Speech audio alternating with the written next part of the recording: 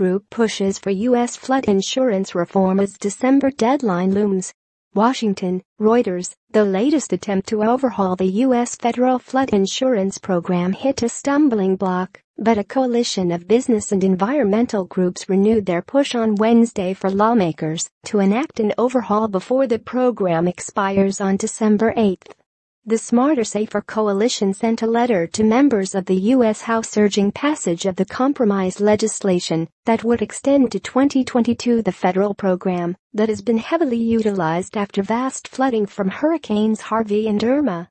This legislative package moves the flood program in the right direction and contains needed reforms that will better protect those in harm's way, the environment, and taxpayers, the letter states. According to a copy seen by Reuters, the hurdle came with the House Rules Committee indefinitely postponed a hearing on the bill that was scheduled for Tuesday night. Clearly they're trying to make sure they've got all their ducks in a row and they've got all the votes they need, said Steve Ellis, with the conservative group Taxpayers for Common Sense, which is part of a coalition pushing for reform of the program.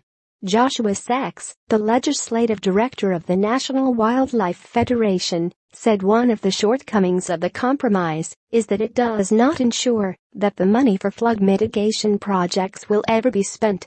We need an Apollo project of mitigation right now. We need billions right now up front, Saks said, referring to the project that put a man on the moon.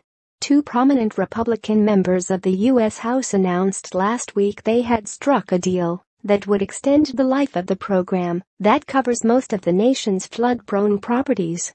House Majority Whip Steve Scalise of Louisiana and House Financial Services Committee Chairman Jeb Hensarling of Texas brokered the compromise and said the deal helps policyholders and taxpayers.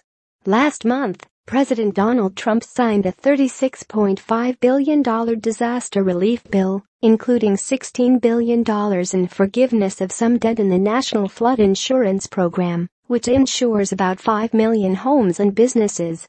Reporting by Ginger Gibson. Additional reporting by David Shepardson.